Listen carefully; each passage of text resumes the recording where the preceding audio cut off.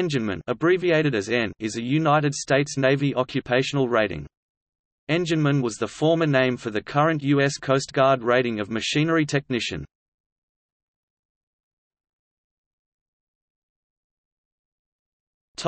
History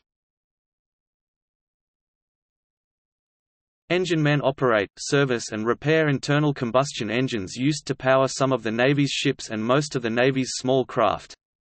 Most enginemen work with diesel engines.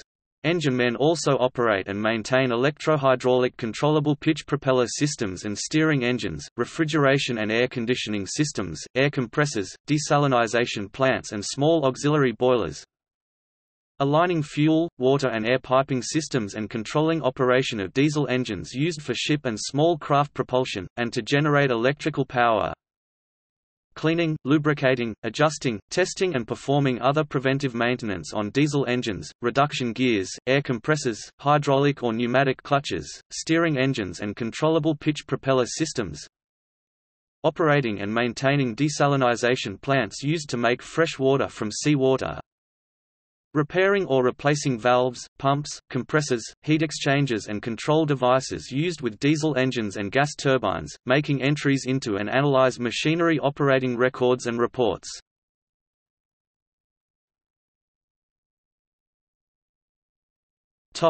Rate structure.